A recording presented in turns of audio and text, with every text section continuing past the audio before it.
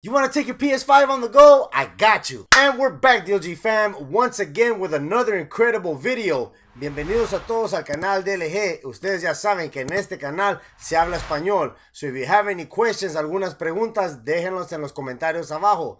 Leave your comments down below. So guys, PlayStation released these two items, one on March 24, 2005, and the other one on December 17, 2011. What am I talking about? Bam! Wait a minute, there's still something missing here.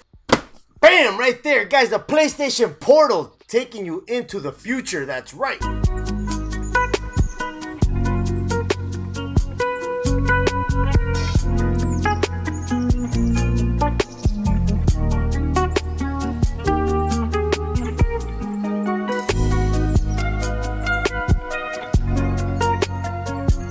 And what I was talking about, those other two items, obviously, you guys know the original PSP released on March 24, 2005. Yeah, I got one of those. I remember I did go to those late night releases that they used to do at GameStop. They don't do them anymore because everything is shipped to your house nowadays. And I also have the other one, the PSP Vita, which was released on December 17, 2011. And the funny part of it all, they both still work. So let's go ahead and unbox the PlayStation Portal and see what type of a. Yep, here we go again. To live in in LA. It's the place to be. I told you guys that ambulance 24-7, non-stop. Let's see what this little device looks like and what can it do. Man, oh man, check it out guys. It only took Sony approximately about 12 years to come out with another mobile version of a PlayStation system. This one, let's go ahead and take it out of the box. And right off the bat, I'll tell you guys, this will set you back $199 plus tax USD, of course, like always. But let's see what comes in here. And you know me, gotta be gentle with the box, but eventually I might wind up throwing this thing away. Not the PlayStation Portal, but the box itself because, uh, yeah, I don't have any more room to store these boxes. All right, so let's go ahead and take this out. There we go. Okay, so there's another box inside of this box. And remote player lecture. What is this? What the heck is this? Look at that, guys. That thing is stuck to the freaking box itself. I think I wasn't supposed to take this box out of the other box. Look at that right there, guys. We got the PlayStation branding on the pull tab. And if you pull it out, ooh, okay. This is a pretty neat presentation. All right, let's go ahead and pick this up. Ooh, guys, okay. Man, this is a DualSense controller split in half. All right, with the extended base on the backside of it and a freaking iPad just slapped on right in the middle.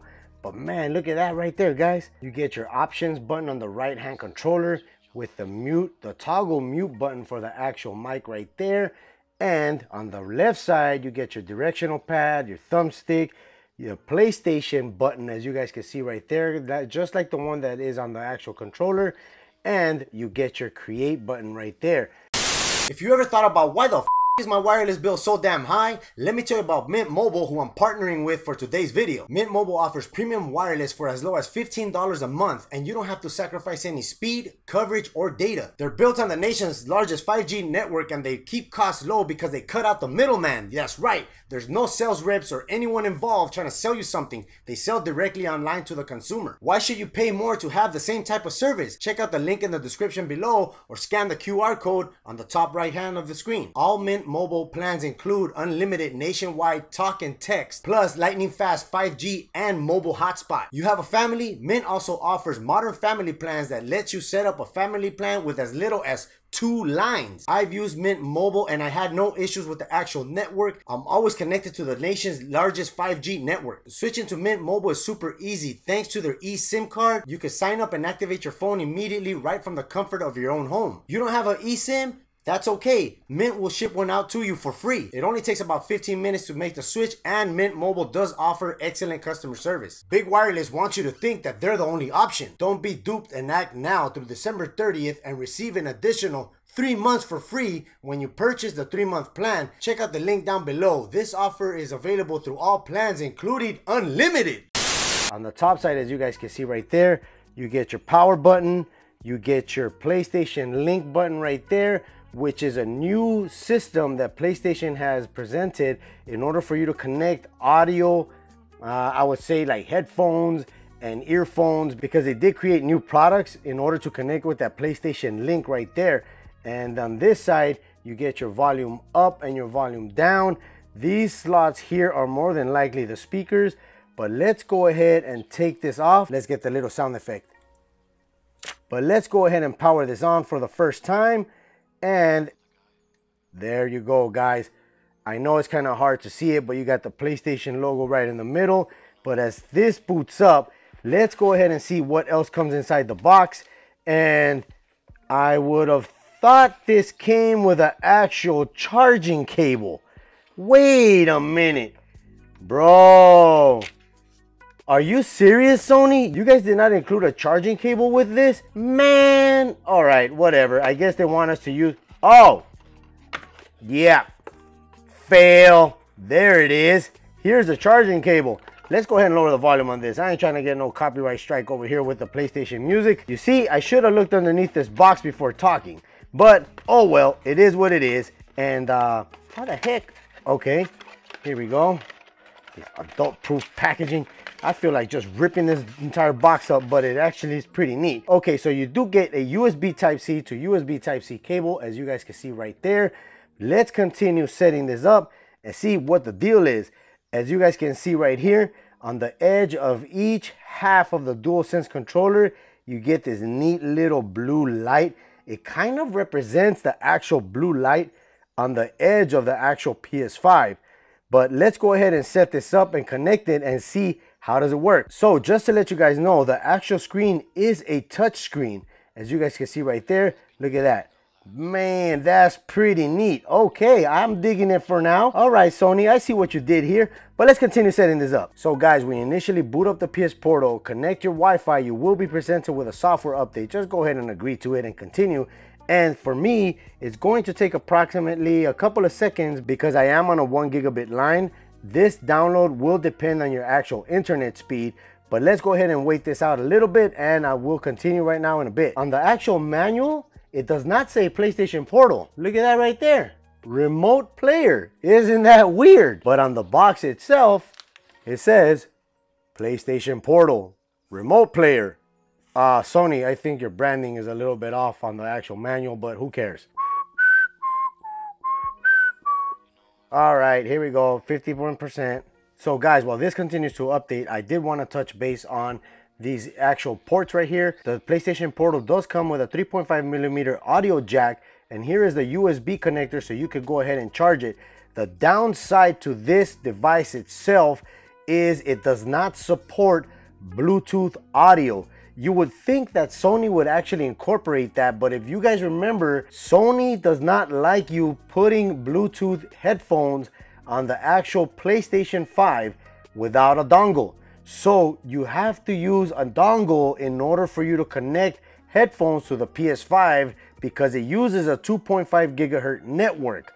And to me, that sucks. That's one thing I really despise of the PS5 is the fact that they don't allow you to use a Bluetooth headset freely without having to use the need of a dongle. The display itself is a full HD 8 inch screen 1080p at 60 frames per second. All right, guys, the update is done. That's like 20 minutes later or so.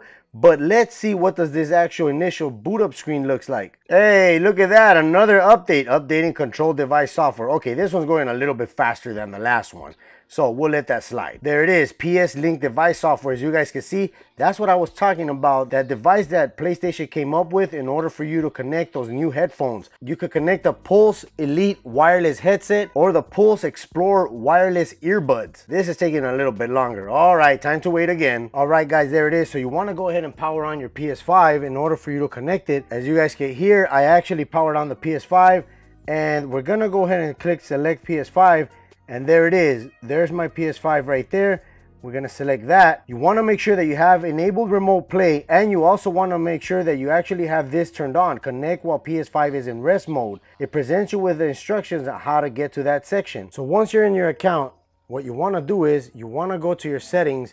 As you see here, go to settings, then go to down to system, remote play. You wanna make sure the remote play is actually turned on. As you guys can see, it's actually on. Then from there, you wanna go into settings, system, power save, settings, and then system, power save, feature available in rest mode. You wanna make sure that you have turn on, stay connected to the internet, as you guys can see right there, that's on. And then also enable turning on PS5 network. So once that's done, click continue and then go to the quick menu to easy change your settings right there. I'm pretty sure we're connected to the PS5 already. Press the circle button or tap on the screen outside of the menu to close it, okay? It's set up already. All right, so let's see if we could go ahead and boot up a game. Man, there we go, look at that. Nice, we're connected to the PS5. And so guys, the thing about this device is this is Wi-Fi only. So this does not have the capability of you connecting to your actual cellular data service. You would have to actually piggyback off your own wireless network on your actual phone in order for you to be able to play with this device. So see right there, we left off on that part of the actual uh, screen. We're gonna go ahead and try to play some uh, Spider-Man as you guys can see right there. And let's see how this works. So the one neat thing about having this device is if you do happen to have your PlayStation hooked up to the living room, you won't be fighting over the TV and you could actually still game on a nice 1080p screen with capabilities up to 60 frames per second. So let's lower the volume on this. I don't want to get no copyright strike, but here we go. So I'm wondering if the actual device, or should I say the DualSense half controllers have the, oh, I just, I, it just answered my question. Yes, it does have the rumble feature and that's pretty neat. Does it have the adaptive triggers? Oh yeah, it has adaptive triggers as well. Man, look at that, guys. My kids might ask me for this device to actually play a little bit of PS5, play some Spider-Man. But man, look at that, guys. As long as you have a fast connection in your home and you got a pretty good, decent router, you should be good to go. But look at that, guys. Let me just land right here real quick so you guys could check it out. Look at the quality on that. That's pretty neat. I mean, it's only 1080p, but then again, if Sony was to put a 4K monitor on this device, can you imagine the bandwidth it would hog up just to try to push that 4K resolution onto the monitor itself? There it is, guys, the PS Portal. Let me know down in the comments below if you actually snagged one of these right here. All right, guys, there it is, the PS Portal. This puppy right here, like I said before, will set you back $199.99. Let me know down in the comments below if you will be picking up a PlayStation Portal. Man, that must have teleported some money into my bank account because I think I'm gonna go broke buying all these gadgets. Alright, so let me tell you one thing. What do you prefer? Do you guys prefer to actually game without any discs or cartridges to insert into the device itself, just like on the original PSP, which it was a UMD disc. Remember those discs right there? They used to be in a plastic protector that look half of a U, and I don't know, I'll put a picture of the disc on the corner. And for the actual PS Vita, you used to have cartridges. You used to have the memory stick in order for you to download games onto it. I'm not too sure, but uh, if you think about it, you're gonna kind of hog up all your bandwidth on your cellular data if you happen to hook this up to your actual phone.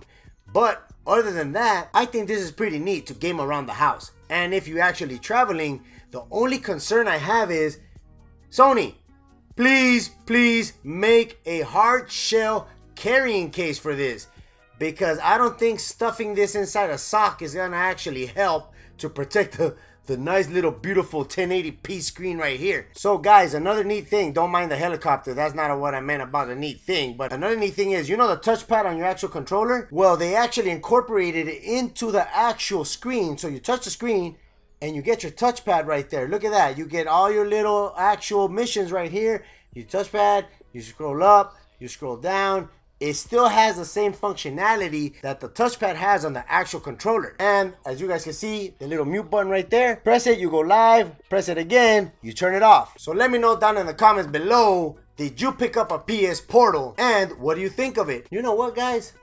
This looks very promising. At this point, I'm not too sure how often I'm gonna use it, but I spend most of my day up in my gaming area slash office area, so more than likely, is gonna be put to good use. So if you're a dad, woo, can't believe I just tossed that in the air. A gaming dad looking for your next portal device to play your PlayStation 5 because your kids hog up the living room TV.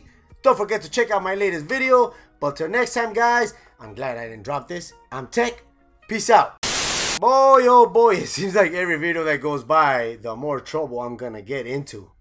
Let me know if you know how it feels. Peace out.